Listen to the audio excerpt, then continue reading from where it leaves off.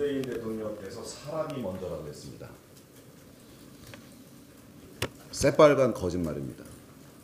이게 거짓말이 아니라면 속초 고성 양양 주민들을 비롯한 강원 도민들이 사람이 아닌 것입니다.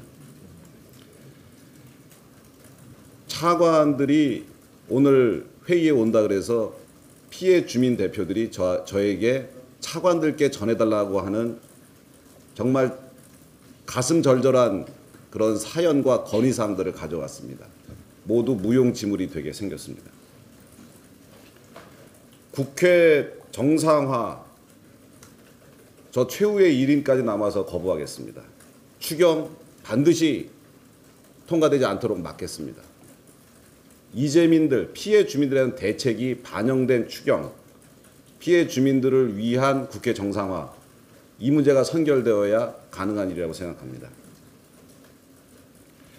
오늘 차관들과 한전에서 사장 부사장이 안 왔습니다만 피해 주민들께서 전달해 달라고 하는 말씀은 이 자리에서 드리도록 하겠습니다. 전 부처 공통 건의사항입니다. 발화 원인인 한전에 대해서 정부가 먼저 보상을 하고 한전의 부상권을 청구하는 방식으로 추진해 주십시오. 추경보다는 절차가 빠른 예비비를 우선 사용해 주십시오. 행안부와 기재부와 국토부에 요구합니다. 현재 6,300만 원으로는 주택을 지을 수 없습니다. 불탄 주택 건축비를 추가적으로 지원해 주십시오. 행안부 차관께 요구합니다. 경찰 수사 발표가 지연되고 있습니다. 조속한 수사 결과 발표를 해 주십시오. 성금이 아직 배분이 안 되고 있습니다. 조기 증액 배분해 주시길 바랍니다. 특별교부세와 예비비 우회 지원을 요구합니다. 중기부 차관에게 건의합니다.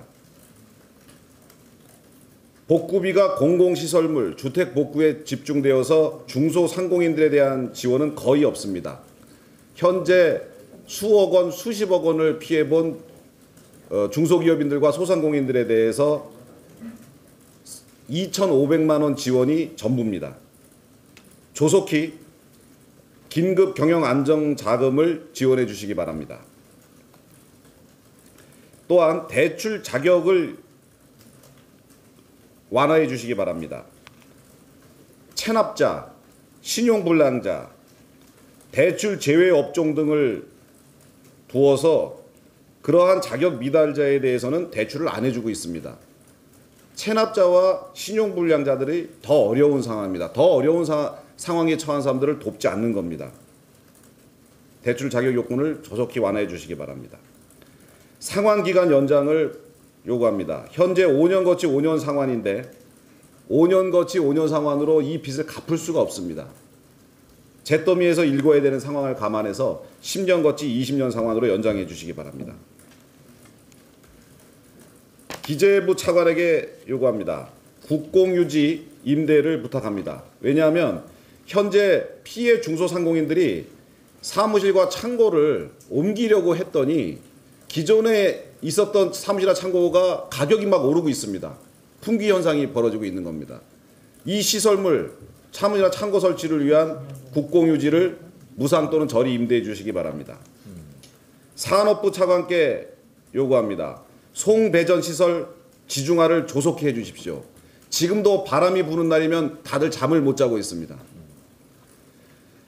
불이 타서 잿더미가 됐는데도 전기 및 가스 요금은 계속 나오고 있습니다. 요금 면제 및 감면 기간 확대를 해 주십시오.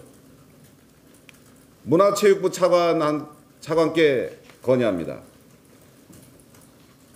문화 기반 시설하고 종교 시설, 화가 조각가 등 이런 사람들이 불탄 것에 대해서는 전혀 지원 기준이 없어서 지금 단 한 푼도 지원이 안 되고 있습니다. 수억 원을 호가하는 그림들이 다 탔는데도 한 푼도 지원하지 않, 고 있고 평생 모은 조각품들이 다 소실됐는데도 이런 것도 한 푼도 지원 안 되고 있는데 문체부로 손만 놓고 있습니다. 마지막으로 한전 김종갑 사장에게 요구합니다. 손해 사정인 선정을 두고 주민들과 견해 차이를 보이고 있는데 주민들이 한전을 못 믿고 있습니다. 왜냐? 한전 사장이 발화 초기부터 내려온 것이 아니고 20일이나 버티다가 마지막에서야 내려와서 주민들께 무릎 꿇었습니다. 한전 사장의 보상 의지를 주민들이 믿지 않고 있습니다. 어떻게든 안 해주고 빠져나가 보려고 하는 사람으로밖에 보지 않고 있기 때문에 주민들의 의견이 반영된 손해사정인 선정 그리고 피해 조사 그리고 피해 규모 산정이 이루어져야 된다고 생각합니다. 간략하게만 말씀드렸습니다. 사실 오늘 차관들과 사장 부사, 한전 사장 부사장이 오면 이 문제들 조목조목 강력하게 질타를 하고 여태까지 손 놓고 있는 이런 이유들에 대해서 캐 묻고 과연 국민들을 제대로 대접하는 나라인가라는 질책을 하고 싶었습니다만 너무나 안타깝습니다.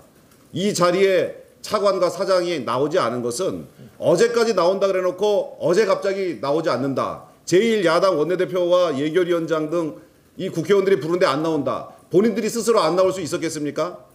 배후에 아주 든든한 백이 있지 않고는 이렇게 나오지 않을 수 없죠. 전 청와대가 그 배후에 있다고 생각합니다. 이번 이재민들을 도울 수 있는 방법의 키를 쥔 것도 청와대라고 생각합니다.